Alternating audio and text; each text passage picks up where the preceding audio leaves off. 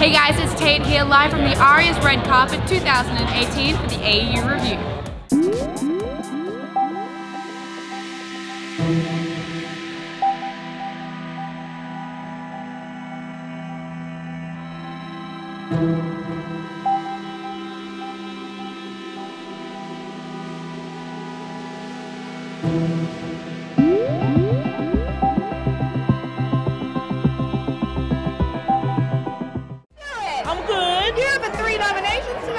I am.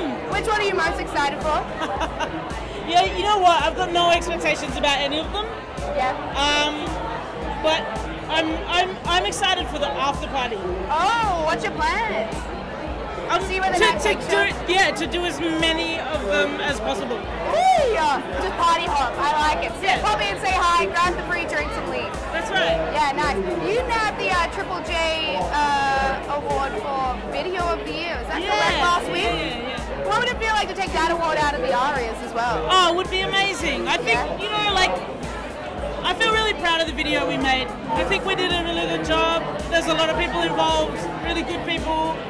Um, I'm happy to know that it's getting the recognition, regardless of, you know, whether we win tonight or not. It's like, You know you've touched some people with that video. Yeah, People have really yeah. recognized the value in it. and I think that's that's what you know is most important to me. Yeah.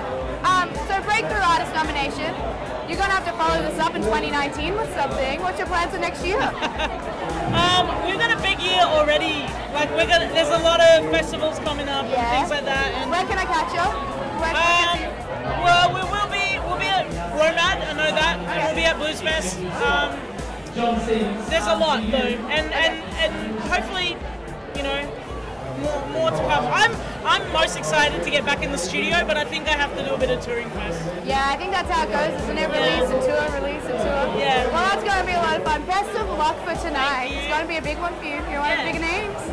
Yeah. Um, and I'll see you in 2019, I assume. Awesome. Thank right. Cheers, Mojo.